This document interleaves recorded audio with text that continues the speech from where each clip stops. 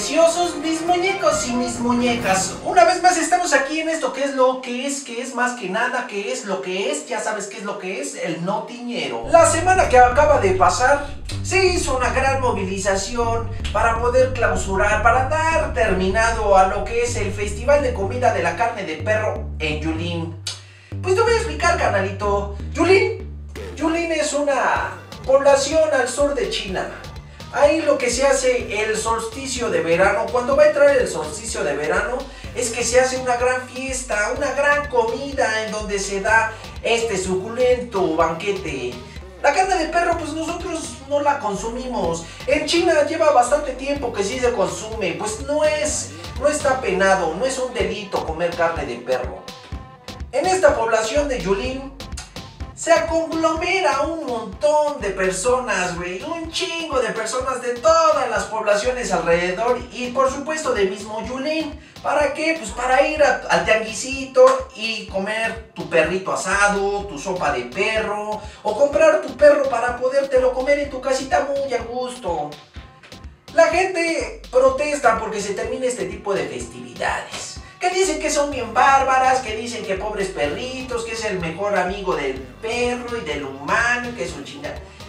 La gente no quiere ver a los animalitos que tienes en tu casa, que te dan cariñito, que te lame, ¿no? No los quieren ver en platos de comida. Por lo mismo, se juntaron más de un millón de firmas para poder terminar con esta masacre que es el Festival de la Carne de Perro en Yulín. Si lo lograron, no lo sé, carnal. China lleva muchos años comiendo carne. Aproximadamente hace 10 años dicen los periodistas que era muy común encontrar en el mero centro de Beijing los restaurantes que servían carne de perro o donde vendían la carne del animalito. Este es uno de los pocos festivales que aún siguen con vida en China.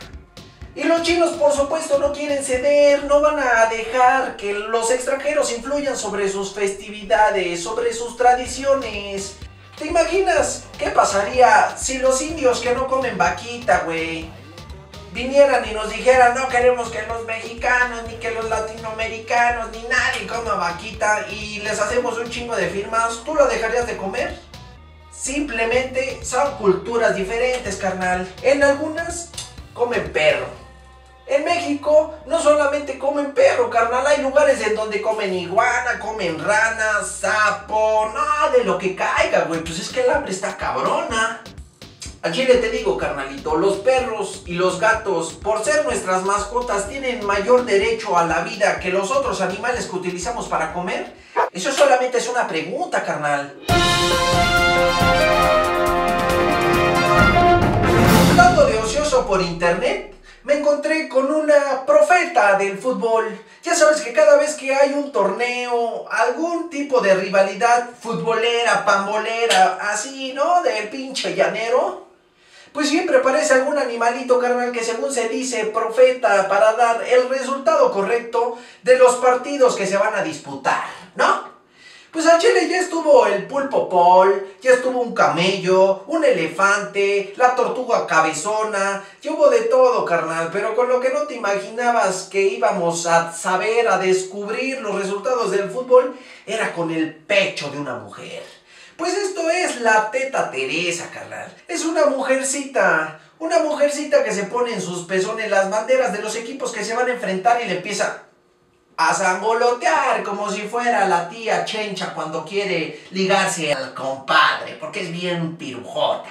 Pues le empieza a hacer acá y donde se le caiga el escudo, pues ese es el que va a perder. Ay, hija de su No, mi carnal, esa pinche chamaca está bien sabrosa. La teta Teresa, quien realmente se llama Ángela García, nada más moviendo sus pechitos, puede predecir quién va a ganar en esta Copa América que se celebra en Chile 2015. Pertenece junto a otras muchachitas a un proyecto que se llama Desnudando la Noticia, en la cual, al igual que yo, tu servilleta, se dedican a leer las noticias, a informarte bellamente. Únicamente que ellas lo que hacen, pues es quitarse poco a poco la ropita, carnal, para quedarse en puros cueros, para que le veas ese guacal que tiene atrasito, pichocho, y ya cuando nosotros ya estamos bien duros, informados y bien jariosos, pues ya se van. Y bueno, mis ñeros, me despido. No sé cuándo vaya a haber otro noticiero, carnal. Simplemente las noticias surgen y cuando a mí me interesa comunicártelas, pues aquí voy a estar. Así que no estés de ñero.